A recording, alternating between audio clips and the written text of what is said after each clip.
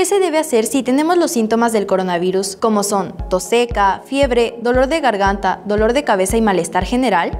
Lo primero es no entrar en pánico.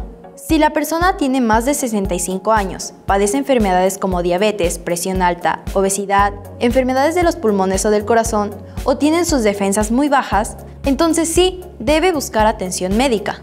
Se le considerará como una urgencia si tiene dificultades para respirar. En ese caso, es necesaria la ayuda médica. Una persona que no tenga esas características puede quedarse en casa, siguiendo los cuidados necesarios para no contagiar a su familia, como mantener la sana distancia, no dormir juntos ni compartir trastes. Si tienes dudas, diles a tus padres que llamen al teléfono 800 0044 800.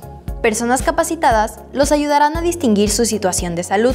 Les dirán cómo proteger a la persona enferma y qué es lo mejor para tu familia y la comunidad.